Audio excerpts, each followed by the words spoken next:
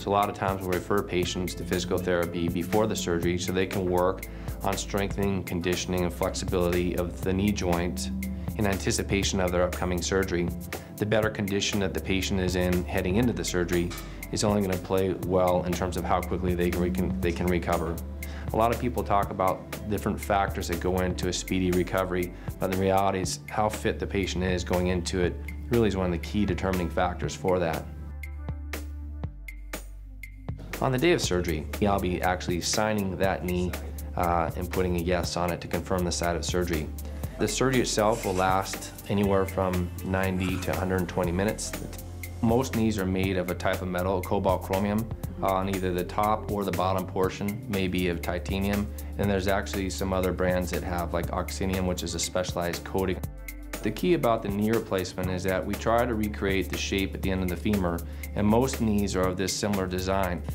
A lot of people think that we're going to come in and just chop off the ends of the bones and stick something in that makes a knee replacement. This is actually what the end of the femur looks like when we finish or finalize our preparations. So it's one shave there, two, three, four, and five cuts on the end of the bone to reshape that knuckle joint so that it will accept the implant when we cement it into place.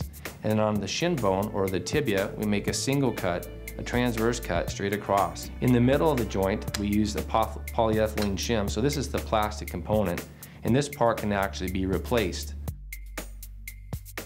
On the back table, we actually have implants that aren't the ones for implanting, that we can put the cap on the femur bone and on the shin bone, and then we take different, we have different plastic thicknesses to make sure that we have good dynamic tension to the joint. So you want to get good soft tissue uh, balancing to the knee so that your dynamic tension is restored so you do not have too much play, that you have a fairly snug knee that is uh, equally balanced in extension and flexion and everywhere in between.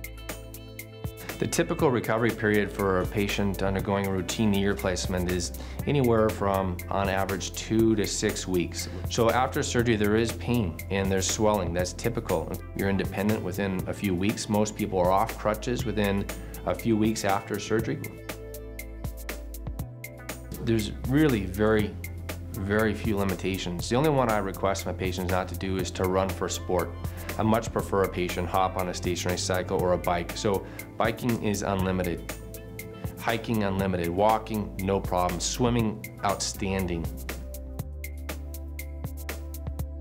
One of the myths I frequently run into in terms of patients coming in to see me is that they've been told by someone, well, you can only have one operation or maybe two and then you're in a wheelchair. Well, I can tell you that's just not the case. Patients can have both knees done at the same setting. There's, no real restrictions to doing it from the surgical standpoint or from the surgical team, provided that the patient has adequate medical clearance. But as people ask me all the time, am I gonna get taller from my knee replacement?